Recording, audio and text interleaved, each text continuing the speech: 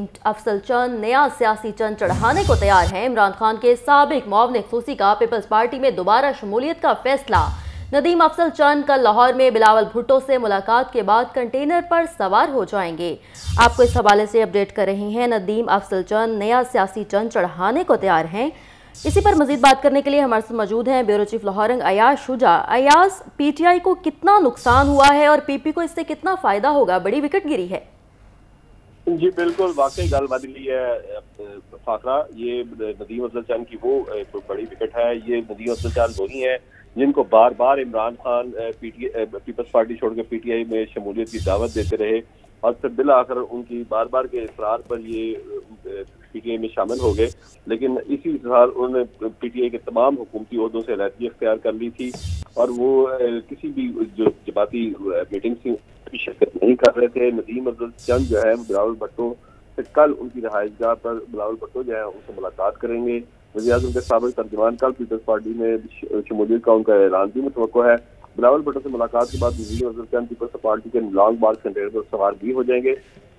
और मैं यहाँ आपसे यही कहता कि मुस्लिम नूर की भी ख्वाहिश थी कि नदीम अब्दुल चंद जो है, उनकी दिमाग में शमूलियत का इख्तियार करें, लेकिन नदीम अब्दुल चंद ने तमाम सूरत हाल का जायजा लेने के बाद वापस अपनी पुरानी पार्टी पीपल्स पार्टी में शामिल होने का फैसला किया है और ये बड़ी विकेट है जो पीटीआई की पंजाब में गिरी है। जी। जी याशुजा सियासी तब्दीलियाँ हो रही हैं। ये पीटीआई हुकूमत पे कितना असरअंदाज होंगी? अतम एतमाद को कितना फ़ायदा देगी ये चीज़? जी बिल्कुल। पिछले जो जिमनी इलेक्शन था उसमें पीपल्स पार्टी के उम्मीदवार ने तैतीस हज़ार के करीब वोट लिए। उससे पहले ही पीपल्स पार्टी का जो मोराल था, उसके जयालों का, वो बूस्ट कर चुका था, वो बढ़ चुका था।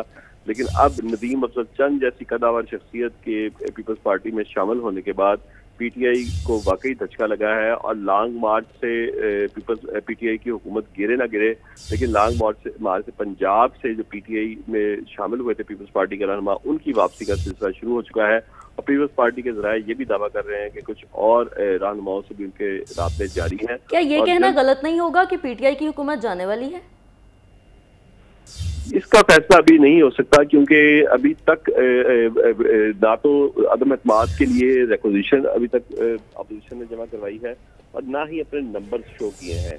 जब तक अदम अतमाद के लिए कौमी असम्बली में वजी अजम के खिलाफ रेकोजिशन जमा नहीं होती उस वक्त तक हम ये नहीं कह सकते हतमी तौर पर कतई तौर पर कि हुकूमत जा रही है क्योंकि दोनों तरफ़ जी शुजा आप हमें तफसीत से आगाह कर रहे थे। बहुत शुक्रिया आपका।